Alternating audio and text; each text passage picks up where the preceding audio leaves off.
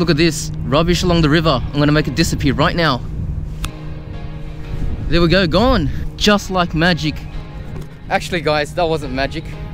Because if you wanna keep the areas clean, you've gotta take away the rubbish. You guys know that I'm supporting Team Seas. If you guys wanna make a donation, we're trying to raise $30 million to remove 30 million pounds uh, with two non-profit organizations.